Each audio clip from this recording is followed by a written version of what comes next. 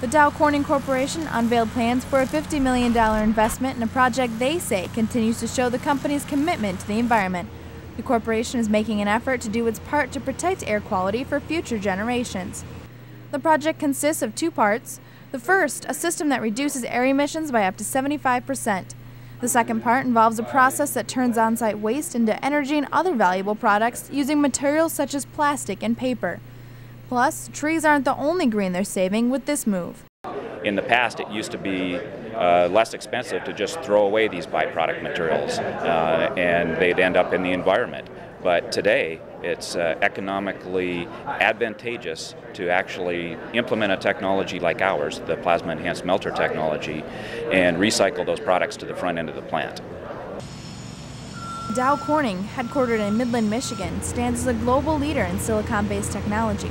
The corporation teamed up with two other companies to complete the project. We're teaming up with IET and Veolia on this project because of their advanced technologies in plasma for byproduct processing. Along with the environmental advantages, the project brings 10 new permanent jobs to the Midland area. Reporting for News Central 34 Online, I'm Kelly Morris.